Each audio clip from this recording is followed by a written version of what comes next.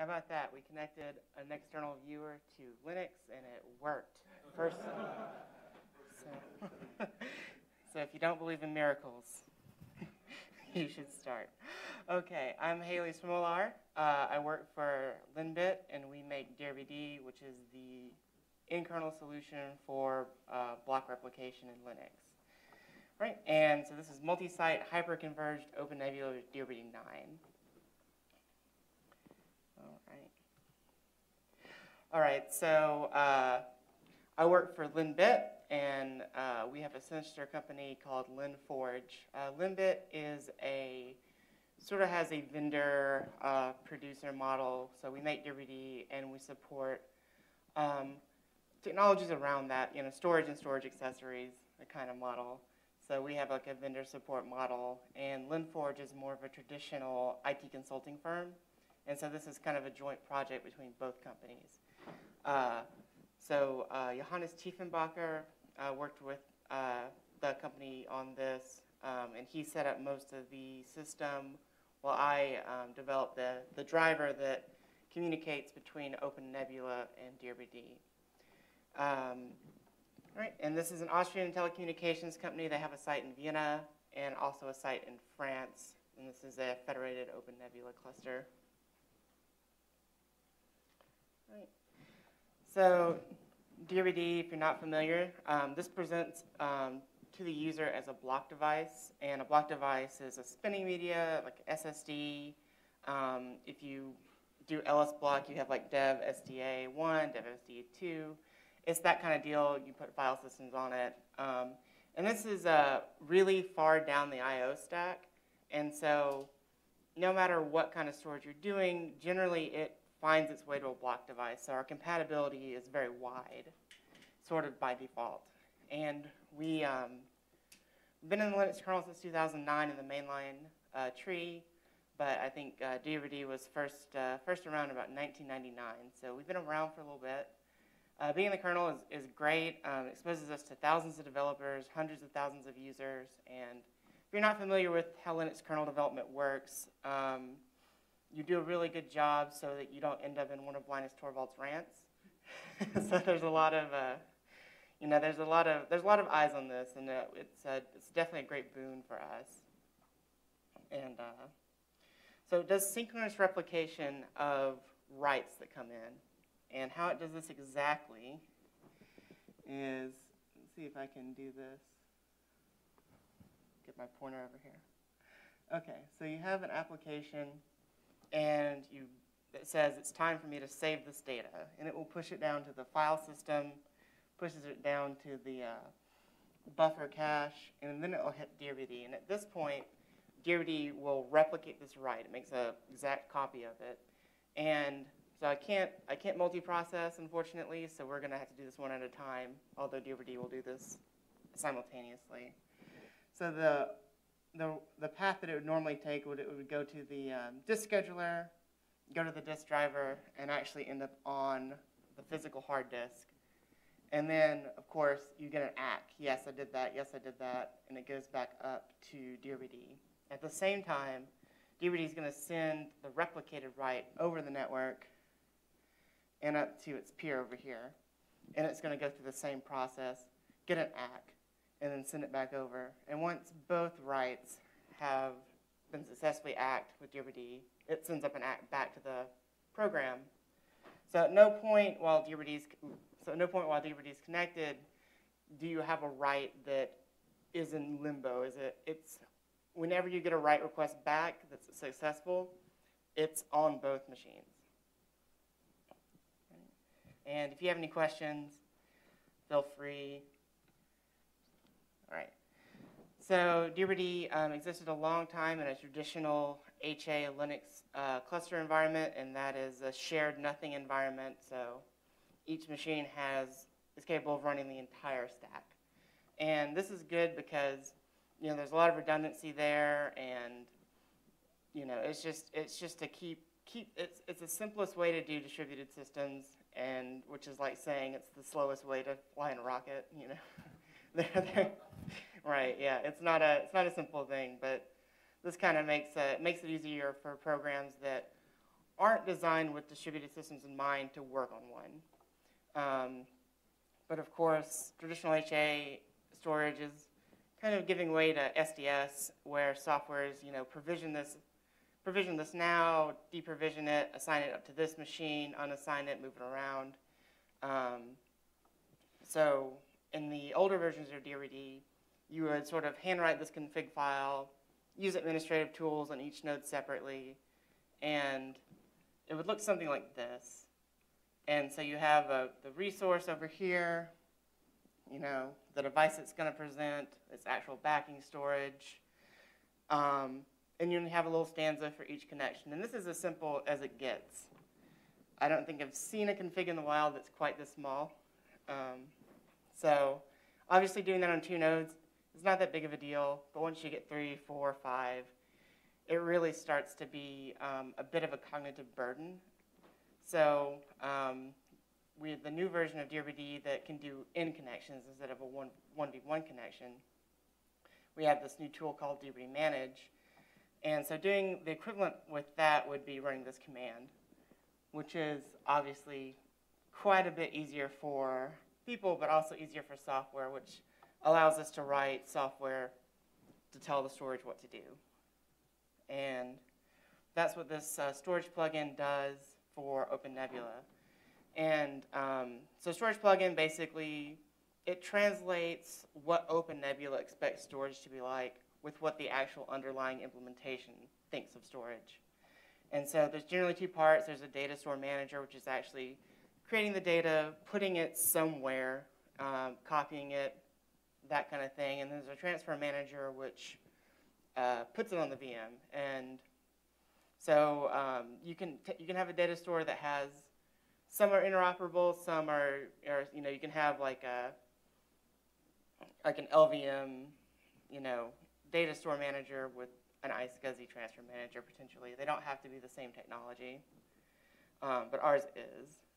So we really didn't go over storage plugins in um, the tutorial, but it's basically uh, you can go to github.com, open Nebula. They have different add-ons uh, for storage, and you'll install it on the front end node. You'll update etc uh, 1 1dconf to let it know that this storage driver is available, and then you create a new data store, and that data store uses um, the storage driver. And it's and then from that point on, volumes are created, images are created the same way as you would create any other image. So, uh, so the actual system architecture is uh, there's an initial setup in Vienna. This is an OpenNebula 2.5 master zone. There are uh, four nodes, two clusters each. So they have an internal and an external system. And these are housing uh, tools for their developers, so stuff like Git repos and all that kind of stuff. It's a, it's to support their internal development process. Um, so uh, it's a little, little strange. Uh, it's kind of a cluster in a cluster. So uh, hopefully this picture is not too unclear. so these, uh, these blue boxes here you'll have the OpenNebula hyperconverged server. So hyperconverged is but basically the storage and computing processing, you know, CPU, memory are all on the same computer. Um, so they're equal in a way. And so DRBD um, replicates the data between these two nodes. But each server, um, each of the, the, all the DRBD storage is under one DRBD managed cluster. And uh, they kind of keep separated by the sites feature in DRBD Manage, which um, prevents you from doing something like somebody who has access to the internal system can't provision storage and say, put this on a node that's in the um, external system. They, they're not allowed to do that, and automatic assignment won't go to that system, so you're able to manage one less cluster than you'd have to or otherwise. So and then, so local replications handled DRBD. And then uh, the cluster application goes to uh, France via MySQL replication. And Um, yeah, so, and the setup in France is identical, uh, exactly a mirror of this. Can you do bidirectional? Bidirectional how? Database one in France to the database, copy in Austria, and then database two in Austria copies back to database to prime in France. Uh, that's a MySQL replication replication thing. I'm not actually an expert on that. Yeah. All right. Um, so these originally were on a Ganeti cluster, um, and these were two-node Ganeti clusters with DRBD uh, eight. And you know, one of the things that's really interesting about OpenNebula and DRBD is it's uh, flexible enough to uh, be able to migrate this uh, automatically in JoJo, in addition to setting up the cluster, develop the script. And so not only is it transferring nodes from a Xen hypervisor to a KVM hypervisor, it's partitioning storage, um, setting up equivalent configs, and mounting new images. Um, yeah, so they are they're they're in the middle of this process, and eventually they're going to have eight uh, nodes on each side four clusters total. Um, pretty much the same setup as you saw on the previous slide. Um, yeah. So, I guess Q and A's. Anybody have any questions? Yes. Get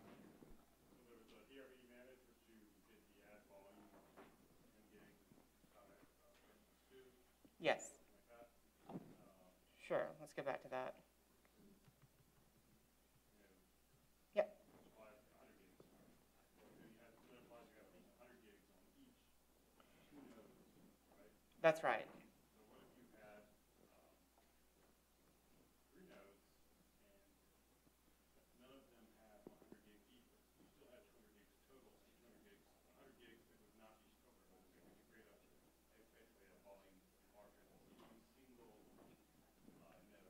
Uh, no. So you're you're restricted in size by the largest uh, contiguous space on any uh, particular node.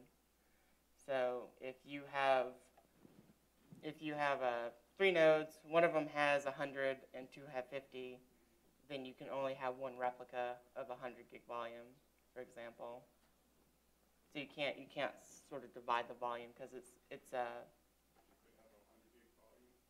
you could have a 100 gig volume, but you no, you couldn't. You couldn't. You can't. You can't break the volume up in that in that way.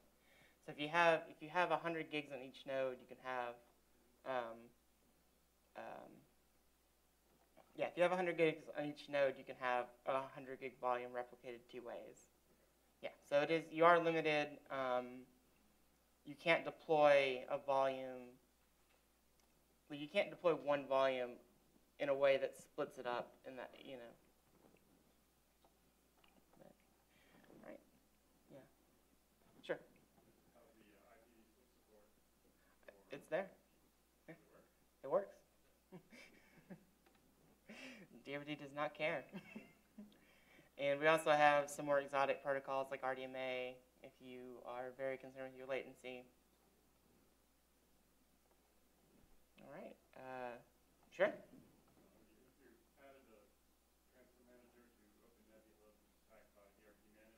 That's right. Yeah. So there's a native. There's a native. Uh, there's a native protocol to attach um, DRBD storage without a disk, and it's comparable to iSCSI. Yeah, that's done via uh, ThinLVM. So um, DRBD Manage uh, will do this through through thin. It'll make a thin snapshot using ThinLVM.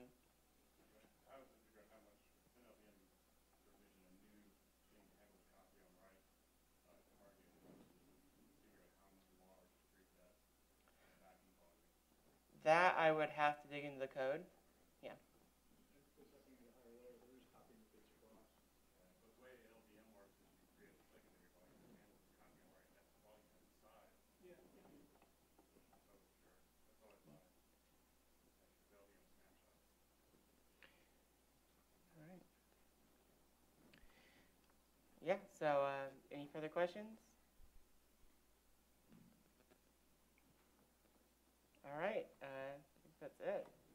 So